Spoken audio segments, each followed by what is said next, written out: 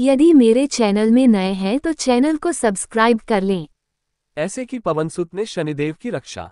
यूँ तो शनिदेव के क्रोध से सभी डरते हैं और राहत पाने के लिए तमाम उपाय भी करते हैं।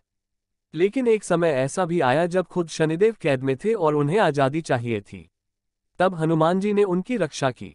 इस पर शनिदेव ने प्रसन्न होकर वरदान मांगने को कहा तो उन्होंने अपने भक्तों के लिए एक विशेष वरदान मांगा।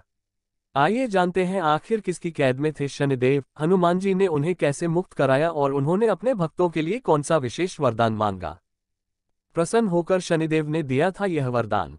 कथा मिलती है कि जब हनुमान जी माता सीता को खोजते हुए लंका पहुँचे तब वहाँ एक कारागार में शनिदेव भी नज़र आए, जो कि उल्टा लटके हुए थे।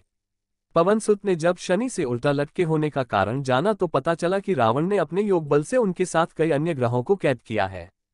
ये जानकर हनुमान जी ने शनिदेव को रावण के जेल से आज़ादी दिलाई थी। इससे प्रसन्न होकर शनिदेव ने हनुमान से वरदान मांगने को कहा।